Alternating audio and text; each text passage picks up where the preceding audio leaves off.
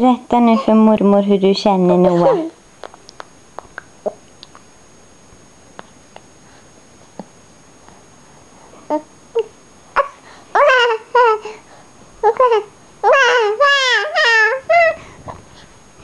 Ja, mormor har inte varit och hälsat på oss nu på ett tag.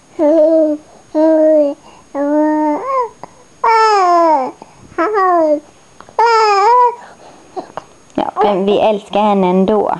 Eller hur? Ja, det är det vi säger till mormor.